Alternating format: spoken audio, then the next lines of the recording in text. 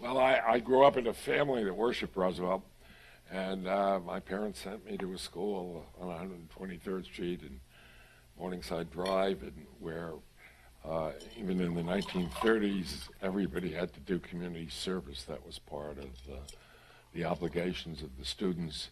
Um, and uh, when I arrived at Columbia University in 1952, after transferring from Oberlin, uh, I not only had a spectacular education, um, but I already was interested in politics, and I ended up co-chairing the Students for Stevenson uh, endeavor.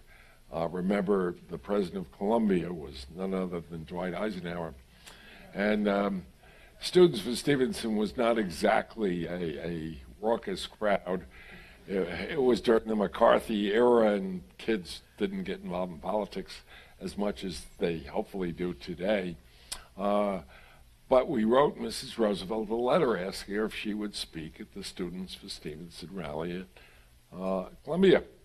And to my surprise, I got a letter back saying that she would, and I should call the, her secretary at the following number, which I did. And for reasons I'm not sure how I had the nerve to do this, I we had agreed that she'd come to two o'clock one afternoon, and I said, "Might I take her to lunch?"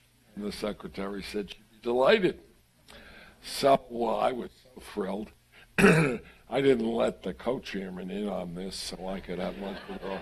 And uh, I got home and I said to my mother, "Where do I take uh, uh, Eleanor Roosevelt to lunch?" And she gave me the name of a little French restaurant in the 60s, because Mrs. Roosevelt lived at 62nd Street I think at the time. Am I correct, Bill? And um, uh, I borrowed my mother's car because I couldn't see running around hailing taxis. And I picked Mrs. Roosevelt up, and we went to the restaurant.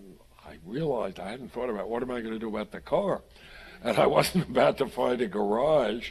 Uh, so I double parked the car, quite prepared to have it towed away and ticketed.